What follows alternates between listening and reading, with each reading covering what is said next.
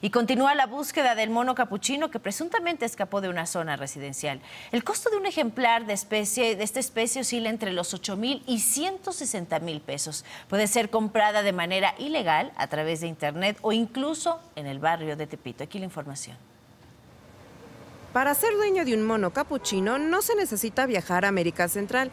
Basta tener entre 8 mil y 160 mil pesos, dar un par de clics en Mercado Libre y hacer la compra, o bien adquirirlo en Facebook o directamente en Tepito. Teniendo los recursos es fácil de comprar. Al colocar en el buscador de Facebook Mono Capuchino, aparecen diferentes ofertas, entre ellas la de servicios veterinarios Los Cuatitos de Culiacán, que presuntamente ofrecían una hembra en 150 mil pesos con chip y documentación. Además, en su muro ofrecen otras especies silvestres como un lemur y tigres, mientras que en Mercado Libre la primera búsqueda arroja como resultado la venta de un pequeño mono capuchino en 8 mil pesos. En el corazón de Tepito, un lugar donde el barullo de la música guapachosa se mezcla con las voces de la oferta y la demanda, cerca de la calle de Aztecas, se pueden encontrar desde un búho en 1.500 pesos hasta guacamayas, boas, tortugas, cocodrilos y monos. Inclusive, los vendedores pueden mostrar un catálogo de especies a través de su celular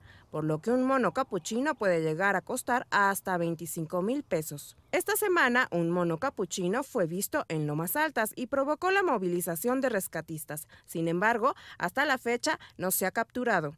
La Secretaría del Medio Ambiente y la Procuraduría Federal de Protección al Ambiente coincidieron en que es urgente el rescate del mono capuchino, pues podría ser atacado por otros animales. La secretaria del Medio Ambiente, Tania Müller, señaló que sí hay permisos para tener estos ejemplares, pero que en este caso nadie ha reclamado al animal, informó Herendir Espinosa.